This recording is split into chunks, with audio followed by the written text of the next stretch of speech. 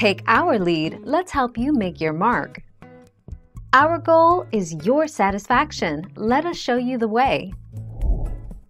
Hello, code DD in box 12 is the cost that your employer paid for your health insurance.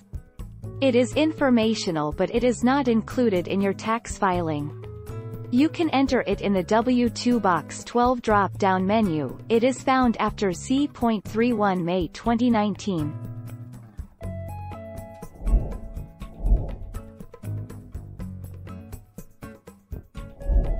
Make your mark, take our lead.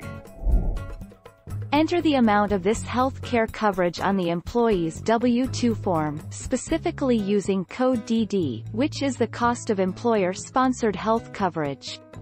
Report both the part paid by your company and by the employee. When reporting, include the value of any medical, dental, and vision coverage you may pay for. Thank you for watching. Please subscribe and hit the bell notification.